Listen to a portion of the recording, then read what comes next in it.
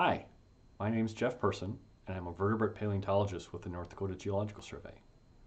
I studied geology at the University of North Dakota and followed up with a master's degree at the South Dakota School of Mines and Technology, where I studied mammalian carnivores. My name is Becky Barnes, and I am also a vertebrate paleontologist with the North Dakota Geological Survey. I act as our lab manager. I received my bachelor's in biology from Concordia College in Moorhead, Minnesota, and my master's also in biology from the North Dakota State University in Fargo. I was not one of those people that knew I wanted to be a paleontologist from birth or even when I was a kid. I didn't realize what I wanted to do until I was about a senior in high school and did a, I don't know, I guess I would call it an internship here at the Heritage Center and I helped to put together the Highgate Mastodon that's currently on, a, on display right now. And it was during that time that I found I have a very deep love of animal paleontology and, and bones and what they look like and why they look the way they look. Um, so why does a femur look the way it is? Why are some long and big and some are very short and fragile? Or why does a humerus look that way? Uh, and this is uh, kind of took me on my path to eventually studying vertebrate paleontology and uh, what we call functional morphology, which is why animals look the way they look. I think what I like most about being a paleontologist is the variety.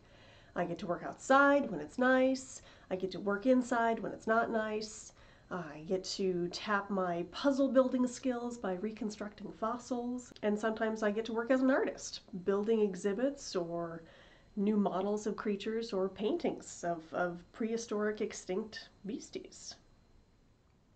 I like a lot of different aspects of paleontology, and probably the thing I like the most is the fact that we get to be outside when it's really nice out, and then when the when the weather is poor or it's rainy or it's snowing, we don't have to be outside. We get to do the other aspects of our job, which include research or putting together exhibits or any of those other plethora of other things that we get to do.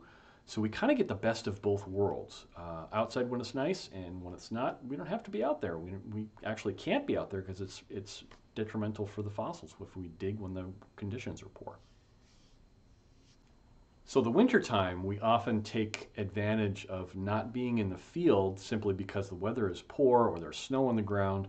And that's when we do the research that we need to do, or we start uncovering um, various aspects of exhibits that we have to do, or we visit different exhibits across the state. Uh, we do research. Uh, preparation is happening at that time. The collection management happens at that time. The curation, all of the things that don't revolve around field work happen in the winter time. We have a very small window to take care of our field work, and that's really what we focus on in the summertime, and then all the other aspects of our job get done in the wintertime. It's a little hard to look for fossils when there's a ton of snow on the ground, although there are paleontologists that do that, those that head out to Iceland, Greenland, Antarctica, etc. Uh, I'm not one of those though. But in wintertime, I spend most of my time working in the lab, putting together the fossils that we find during the summertime. Otherwise, I'll spend my time making more educational articles or outreach, videos, books, even coloring pages. In the field, Jeff and I use a lot of the same tools. Anything from small brushes or dental picks to trowels, hammers, shovels, uh, up to larger jackhammers and rock saws, just depending on, upon what the situation requires. Once we get back to the lab, however, then I get to play with all kinds of extra little tools. We have little tiny air-driven jackhammers called microjacks, or we can use microblasters, which are kind of like sandblasters, but they shoot baking soda instead, and they're really good for cleaning up all of that detail work on those fossils. I can't necessarily speak with tremendous authority on this, but it's my understanding that the oldest animal that's still alive today um, is probably the horseshoe crab. Uh, they are very weird looking. If you've ever been to a, a, beach, like an oceanic beach, not a lake beach, but an ocean beach, Sometimes these will wash up on the shore and they are just bizarre looking. However, I will say, because this is just kind of a cool fact that goes along with the same topic, is sharks have been on this planet for a long, long time. Sharks actually, the ancestry of sharks dates back before the ancestry of plants. So technically, sharks have been on this planet longer than trees have. That's kind of cool. So I get asked this question a lot, and I like to think that my answer stays the same every time, and I think it does. Um, way back when I was in graduate school, we were at a place called Fossil Lake, Oregon. And it was at that place that I found something that seemed very boring at the time, but it was the toe bone of a bison. And the reason it was so cool and so important is it was that exact bone that I found that opened up and told us exactly how old the site was. There are very few fossils that can actually that we use to date sites, uh, especially mammalian fossils. And the bison that we found at that site was the key to unlocking that. It had never been found before at that site, even though it had been visited for probably decades. Nobody had ever found that before. So we didn't know exactly how old it was until we found, until I found that bison toe. So I think that's probably the coolest thing I've ever found. I think one of the coolest fossils that I ever ran across was an out of place bone. I had been working down on a site in South Dakota on it's called a monospecific bone bed, meaning that there was one kind of creature inhabiting this big bone bed. It was all Edmontosaurus, the duck-billed dinosaur. And there were hundreds, even thousands of these Edmontosaurus bones in the rock layers that we were working our way towards. And they had a pretty pretty distinct horizon. We would get down to what we called the bottom, and that was it. There was nothing more. Well, one day we hit the bottom, and there was a little prongs sticking up out of the dirt. And so we kept digging, digging, digging, and it ended up being the lower jaw, the lower beak portion of a triceratops. And it was pristine. It was beautiful. It was 100% complete. It had all the little little blood vessel grooves and, and nerve holes, and it was just really, really cool for, you know, a gal whose favorite dinosaur happens to be Triceratops. The coolest place I've been to look for fossils was I had a very unique opportunity to travel to Australia to look for fossils. That was an incredible experience. We spent about 30 days in the outback camping uh, and looking for fossils during the day. It was an incredible experience, and I would go back in a second. It was a lot of fun. Well, I want to visit Australia. That sounds amazing. Sadly, I haven't gotten to go too terribly far from home. So, one of the coolest places I would say that I've gotten to work with fossils would be down in Wyoming. And we were lodged on the hillside, praying that the rocks weren't going to go come crashing down on our heads. But our campsite was actually the the real plus. It was it was the real fun part of, of this particular site. It was a little flat area with our fossil site on one side, and we had this crystal clear mountain stream running through uh, right next to camp. And it was cold, so cold. We were able to build a little rock cache within the stream itself in order to put our pop cans so that we, at the end of the field day, when it's hot and we're dirty and sweaty and gross, we could head right down to this mountain stream and grab an ice cold soda. So I'm actually one of those stereotypical paleontologists that actually study dinosaurs. Uh, and I've been out on a number of digs and have found uh, parts and pieces from quite a few dinosaurs. So in alphabetical order, we have Acheroraptor, Allosaurus, Ankylosaurus, Camarasaurus, Dromaeosaurus, Edmontosaurus, Pachycephalosaurus, a new creature that fits in here that I can't talk about yet, Struthiomimus, Thescelosaurus, Triceratops, and of course, Tyrannosaurus. We use fossils in a variety of ways, and one of the things we use fossils for is to help us to put together the history of our planet. Fossils, often the small ones, can tell us about environment. Uh, so we can use fossils to help us put that together. For example, uh, a frog might be able to tell us that the environment was sometimes wet, sometimes dry, or a fish would tell us that it was always wet. Or you might find a horse telling it was probably a plains environment. So we can use the fossils that we find to put together environments. And that's one of the things we can do with fossils. As a dinosaur paleontologist, that does mean some of our creatures that we find are indeed big. The bad part about this is it does take up a lot of space in our storage room.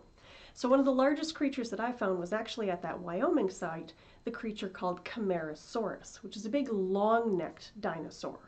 Lived during the Jurassic period, which was found in the Morrison Formation. I think though Jeff has found some pint-sized pieces. Thanks, Becky. So I'm going to talk about the smallest thing that I found. And believe it or not, the smallest fossils that we find can actually fit on the head of a pin. They're that small. Usually they're very small teeth from small rodents or maybe even um, moles or voles, if you've heard of those. I'm sure you have. Uh, the teeth can be very, very small, and so they can be sub-millimeter in size. Very, very small. In North Dakota, we're fortunate. We have fossils all over the state. Uh, it's kind of an exciting place to be, really. One of the places we can find them is in a place called the Little Badlands, which is southwest of Dickinson. Uh, there we have fossils from the White River group, and they're about 32 to 33 million years old. Every year, we take people from the public out on these digs with us, and that's one of the places we can go. Becky? North Dakota savanna. That's pretty dry. We're going to go on the opposite end of the spectrum with our Pembina fossil dig, where we actually work with sea monsters. This is up in the northeastern corner of the state, and are some of the oldest surface rocks that we can find in North Dakota. Anything from mosasaur fish, sea turtles, to long-necked sea monsters. It's pretty cool. Thanks. Boy, sea monsters in North Dakota, can you imagine? So the next place we can find fossils is a place not too far from Medora, North Dakota, which is out in the western part of the state again. And there is just after the fossil, the dinosaurs, excuse me, the dinosaurs have gone extinct. And we're finding uh, a swamp-like environment. So anything you can imagine living in a swamp was living in western North Dakota at that time. Crocodiles, uh, the dominant predators are the big things that we find. But we find lots of fish, we find lots of turtles, anything you can imagine living in a swamp environment, maybe like in southern Louisiana or South Florida today, is what we were finding in western North Dakota at that time. Becky? Well, Medora is a really nice place to visit. Another couple of places that you can visit to find dinosaurs would be south of Bismarck Mandan or in the southwestern corner of the state down by Marmarth, Bowman, and Rhame. Uh, these are the areas that you would find dinosaurs in North Dakota, such as T-Rex, Triceratops, Edmontosaurus, and all those various other creatures. And we have had and have dig sites in many of those locations. Everything we find is priceless. We're not in the business of selling fossils. That being said, people tend to put a price tag on just about anything. One of the interesting parts about paleontology is we don't know exactly always where to look for fossils. Sometimes in an established quarry, we know to just keep digging into the wall, for example. But if we want to establish a new quarry or find a new quarry, or uh, just find other small bits that aren't necessarily in a quarry, we don't always know exactly where to go. And so for that, what we do is we actually go out and just wander, for lack of a better term. Uh, we will go out in very specific places. It's, it's very refined wandering, if you will.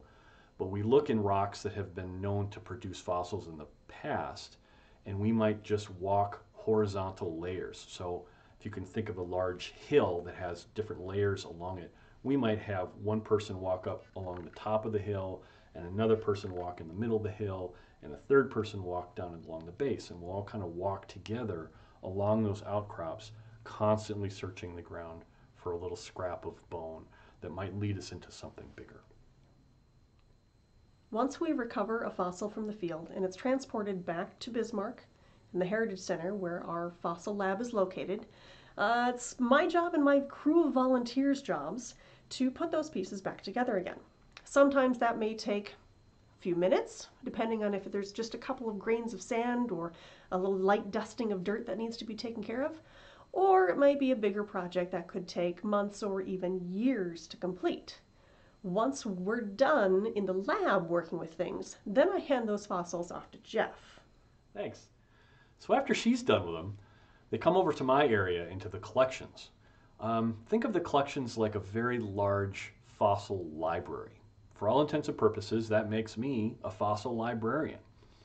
They get organized in a very specific way uh, that makes for easy retrieval later, and they will sit in the cabinets that they get put in for years or maybe minutes um, until a researcher comes by or they get chosen for an exhibit or any number of different reasons that they might that they might be used for. That's usually where they will end up for long term.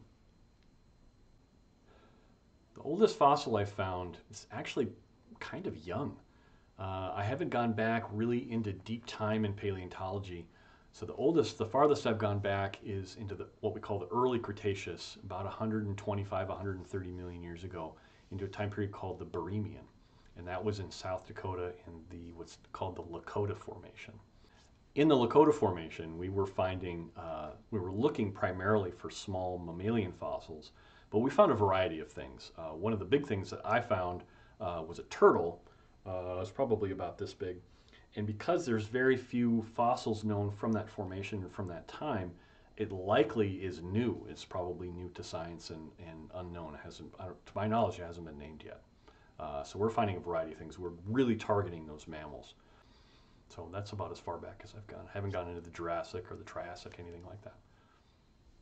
As far as the actual oldest fossils I've found, uh, probably, again, that Wyoming site, the Morrison Formation, we were digging in rocks that were about 155 million years old, working with those long-necked camarasaurs, uh, as well as an Allosaurus. A fossil without any information collected from it is just a glorified doorstop. So we have to make sure when we're digging up those fossils to take as many notes as possible. Each of us has a notebook with different information that we collect, and some of us may find different things to be most important. So what we do is we gather together everybody's notebooks to compare notes if we need to go back into the past to look something up. You may find something like this where we have the dates and the weather, any kind of field number that's listed, photographs from what we found in the field in a searchable method. And all of these books are property of the North Dakota Geological Survey, which means when I finally retire, these books stay here. And anybody who comes in after me can use all of the information that we collect in these to look up anything that they may need. The different kind of information that we may collect in the field could be anything from the weather to the rock layers that the fossils are found in, what fossils are found, if anything weird that sticks out. Weird things are really important because they stick out in your brain and it may help you jog your memory to, to remember something in the future. So anything that's pertinent, that may help you jog your memory, that's all very important information to write down. Because no matter how good your memory is, you will forget and if something happens to you, then all of your information that's stuck in your brain, nobody else can access. So that's why we have to make sure to write it all down.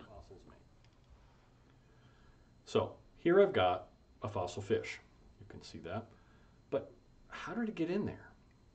Last time I checked, fish don't swim in rock, right? So picture this. Get this fish swimming around and doing its fish thing in the river or wherever it is, and it dies belly up. Sinks down to the bottom. And down on the bottom, it gets buried. Deeper and deeper and deeper until it's buried so deeply that it actually completely compresses the fish. And it stays down there for thousands or millions of years where the groundwater seeps through and turns all those bones into stone, mineral by mineral, piece by piece, bit by bit. That's how we get to a fossil.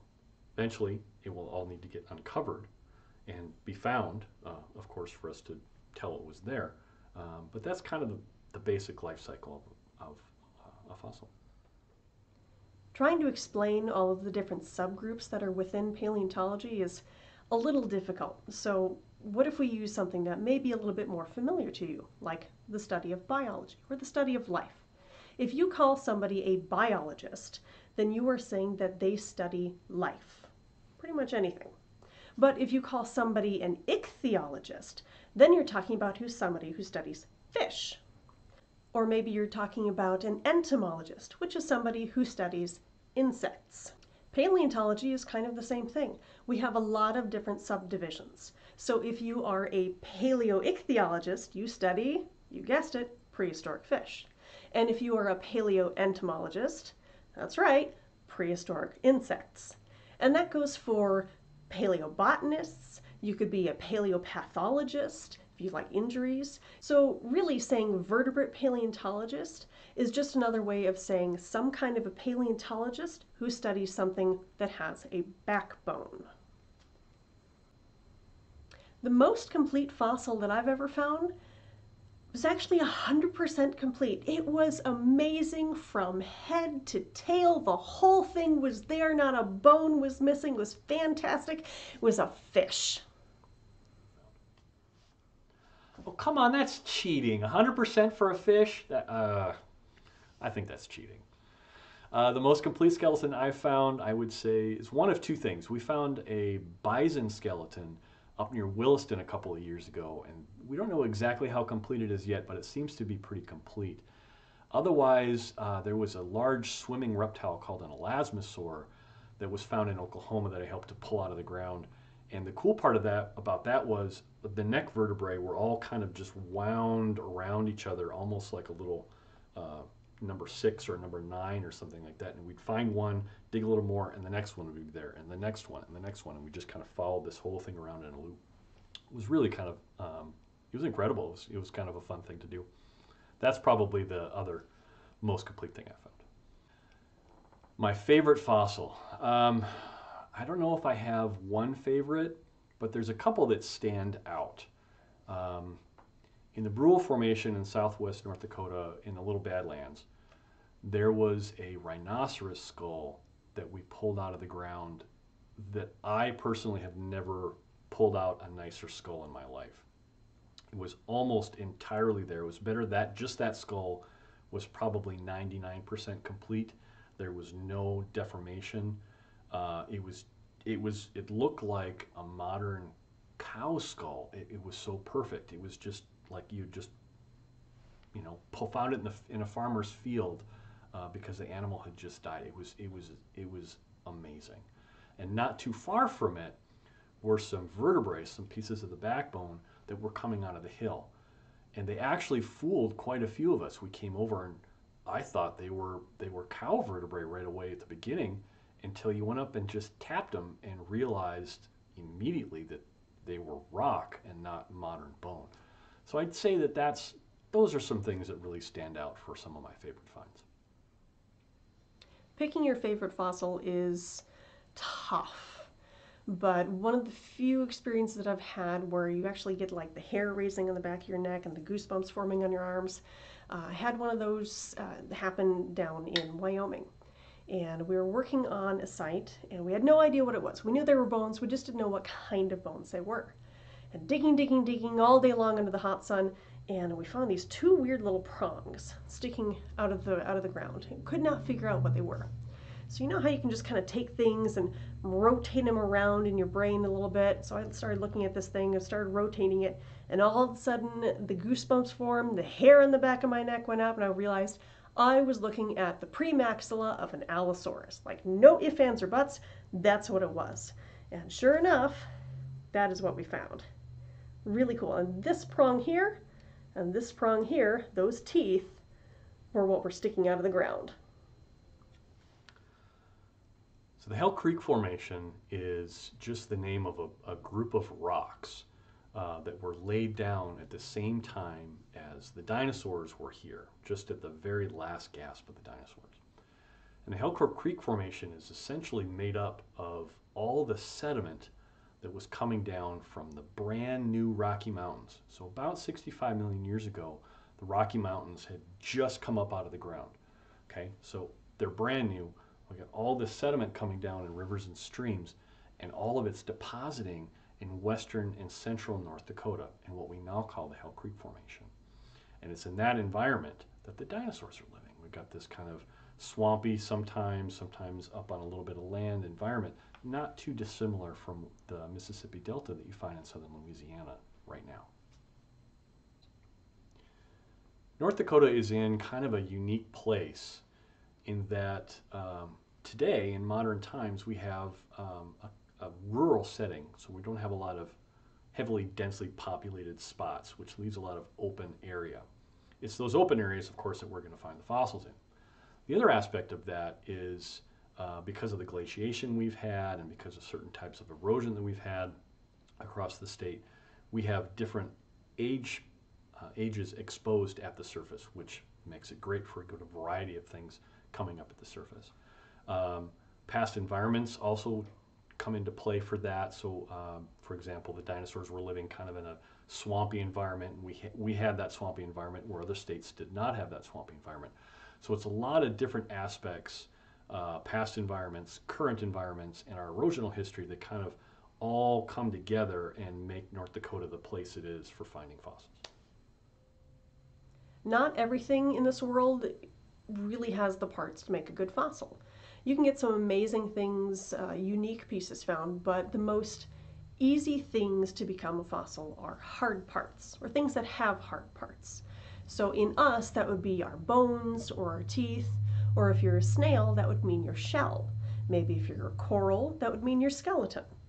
So depending on what types of hard parts you have, those are going to be your most common fossils. There are some very unique pieces, though, that are not necessarily hard parts. Plants, leaves are very prolific fossils. Ferns, very soft plants, can become fossils, along with jellyfish, even, can become fossils in the right conditions. Many people who come in ask us, Can I go look for fossils? And the short answer is yes. So you can go, but you have to be careful. So, how do you do it legally? Or make sure you don't get in trouble. Two things make sure you have the landowner's permission, or come out with us on one of our public fossil digs. We hold them every summer, and public are welcome to come out. Check our social media pages for how to sign up and when sign up happens, and we hope to see you next summer.